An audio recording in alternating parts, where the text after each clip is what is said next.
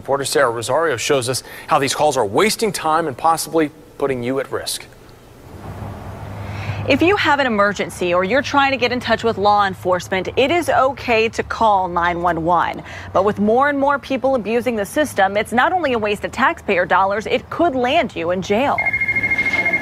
All right, uh, I'll put like a comforter in my washer. It's like a pretty nice comforter. It's like fifty dollars, and they just take it out of my washer. Yes, that's a real call. Just one of several in Hillsborough County, taking up the time of dispatchers trained to walk you through murders, robberies, and even a health crisis. Well, just know today I got a call from my court appointed state attorney for my child, and I was reported and narked on because of my social media life.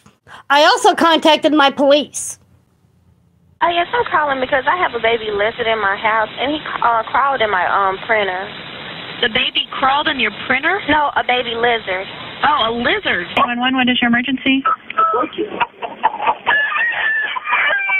Oh, yes, a chicken too. While these are more cases in Hillsborough, it's the same in Hernando. Police arrested this Brooksville woman just last week for calling 911 several times just to talk. And Carolee Hammond of Spring Hill arrested for calling 911 nearly 10 times asking for a ride. Bottom line, these calls are tying up valuable resources meant for emergencies only. You're putting lives at risk by doing this. You don't control me. You don't control my media life or my real life.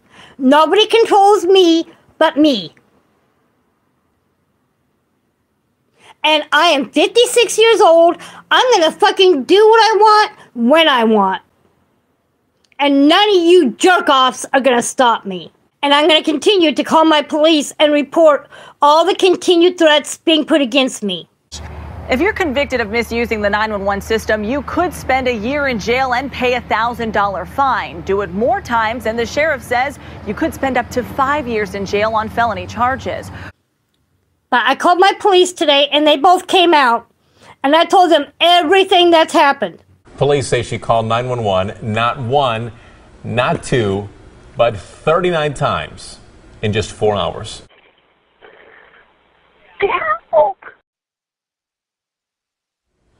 The woman was arrested. The maximum penalty for making a false 911 phone call is 90 days, but it increases, increases to six years behind bars for each additional call. And I told them they're going to probably continue to get calls about me. And they said, that's fine. They're very well aware of what's going on.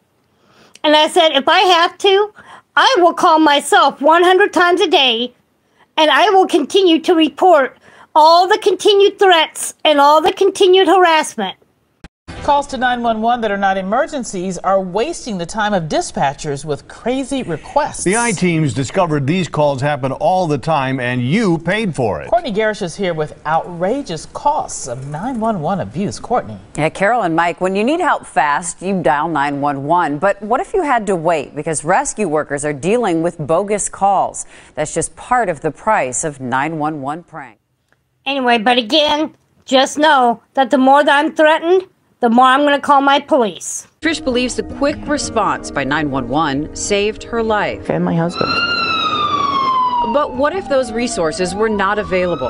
What if emergency crews were tied up by nonsense calls? Calls that end up costing you money. There are people that take advantage of the system. Anyway, but again, just know that the more that I'm threatened, the more I'm going to call my police. Is taxpayer money going towards um, us going to a bogus 911 call? Hi, everyone, it's me. I just got the call back from my local police, and here's what he told me. He said I am to stay completely unsubbed and stay clear of everyone's channels. I am to stay away from everyone's community page. I am to stay away from everybody's comment sections. Completely keep to myself when I'm online. And the only way I can interact with people is when I'm doing my crafts. Just know, I called, I contacted my police. They just called me back. I had the next threat reported. Again, the police are very well aware of my situation. They are very well aware now of the next threat that has come in. So again, just know, every time I'm threatened, I pick up my phone and I'm going to call my police. And if I have to call them 100, 200, 300 times a day, that's what I'm going to keep doing. Because if you don't, Like I said, I'm going to keep calling my police each and every time I'm bullied, harassed, intimidated, threatened, pushed around, knocked down. I am going to have the right to call my police and have it reported. What's not safe is this. This is 911. What is the address? Emergency. This is not actually an emergency. I tried your non uh, non-emergency number, but nobody answered it. Calling 911 without a real emergency, you never know who may be waiting, who desperately needs the help. So the next person that wants to legally threaten me, just know it's been documented, and I will be again contacting my police, and I will be reporting you. Closer to home, Phoenix police arrest a woman for repeatedly calling 911. We told you about this. Now she's getting ready to head to court for it. And ABC 15's Corey Rangel has our first chance to hear those calls made to dispatchers and the new details about this case. Phoenix 911, where is your emergency? It's a frantic call to 911. Hurry up before they kill him. The caller claims she's worried about someone getting killed at her Phoenix apartment building. Do you all want me killed? Do you all want me deceased? Police show up and find nothing, but it's not a surprise to officers.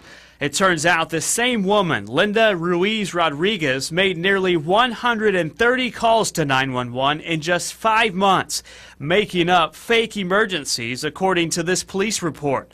Before arresting her in July, police warned Rodriguez about calling so much, which she even brought up while on the phone with dispatchers. Somebody yesterday that came over here said not to call 911 anymore. That they were going to cut me off to jail, and I don't know who it was, but I have every right to do whatever I want. Nobody want. controls me but me. And I am 56 years old. I'm gonna fucking do what I want when I want. And none of you jerk offs are gonna stop me. Police tallied all of the phone calls and estimate Rodriguez spent about three hours on the phone with dispatchers. Friends and neighbors tell me Rodriguez suffers from mental health issues.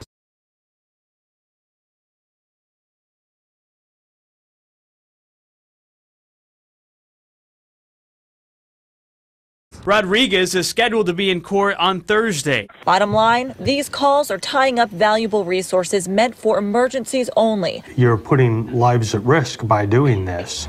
If you're convicted of misusing the 911 system, you could spend a year in jail and pay a $1,000 fine. Do it more times, and the sheriff says you could spend up to five years in jail on felony charges. Reporting in Brooksville, Sarah Rosario, ABC Action News. Five words. I'm being told what I can and cannot do. So you know what? All of you just need to shut the fuck up. Well, just know today I got a call from my court-appointed state attorney for my child, and I was reported and narked on because of my social media life. I'm done because of my social media life. So today, I actually called the Oregon State Bar and I reported it. I also contacted my police. But I called my police today and they both came out and I told them everything that's happened. And I told them they're going to probably continue to get calls about me. And they said that's fine. They're very well aware of what's going on. And I said, if I have to, I will call myself 100 times a day and I will continue to report all the continued threats and all the continued harassment. So the next person that wants to legally threaten me, just know it's been documented and I will be again contacting my police and I will be reporting you. No joke. You don't control me. You don't control my media life or my real life. Nobody controls me but me. And I am 56 years old. I'm going to fucking do what I want when I want. And none of you jerk offs are going to stop me. And I'm going to continue to call my police and report. Anyway, but again, just know that the more that I'm threatened, the more I'm going to call my police. And the more I'm going to report all the continued threats that are being made against me. You want to continue to threaten me? I'll keep calling my police.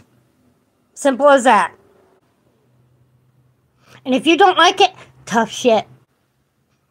So just know that each and every time that I am being bullied or threatened or harassed, I will pick up my phone and I will continue to call my police and I will have it reported.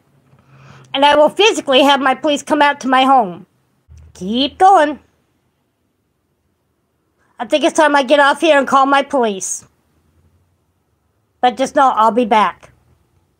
I am not going to be stopped from being on this platform. So there's that.